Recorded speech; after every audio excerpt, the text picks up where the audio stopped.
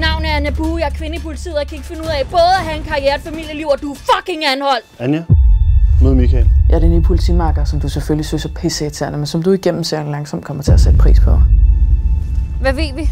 Jamen, det er lige af en selvfølgelig meget smuk ung kvinde, fordi det bare er mere hjerteskærende, når den dræbte kvinde er smuk, end hvis hun for eksempel var grim.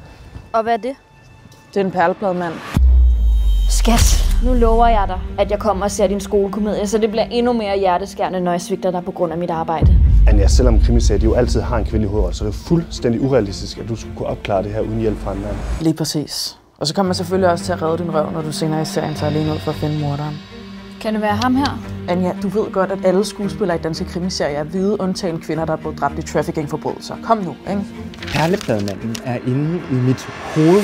Hvad er det, du mener? Det ved jeg ikke, men jeg er jo den psykisk syge karakter, der afsporer jer i serien, indtil I finder den rigtige morder. Der kommer flere mor. Hvorfor tror du det? Der er mange perler i en perleplade. Varför kan du aldrig slippe ind mig?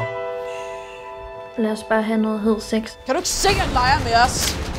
Du er nødt til at finde min datter. Hey, hey, hey, hey. Anja, jeg tager dig af sagen nu. Altså, så tag dog hjem til dine børn for en gang skyld. Svar mig så, mand. Fortæl mig, hvor hun er!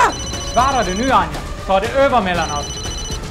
Det er Anja Bue som er sagen, men vi ved begge to godt, at jeg kommer til at opspore morderen alligevel, og det bliver ekstremt dumt og farligt. Det her, det er langt større, end du aner. Eller, altså, det er det faktisk ikke. Det er lidt ligesom alt andet krimi, du nogensinde har set.